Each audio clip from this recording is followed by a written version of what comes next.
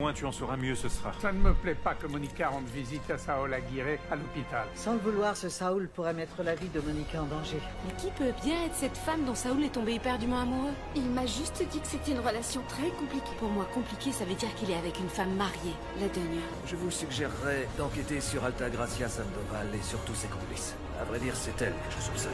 Donia, je peux vous poser une question En fait, ça concerne ça. Est-ce que vous êtes devenue amie intime au point de vous inquiéter autant pour sa santé Ne manquez pas votre nouvel épisode inédit de La Donia, aujourd'hui sur Novelas TV.